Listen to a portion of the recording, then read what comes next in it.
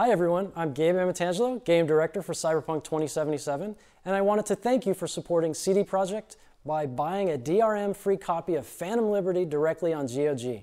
We truly poured our hearts into this expansion, and I can't wait to see you all back in Night City.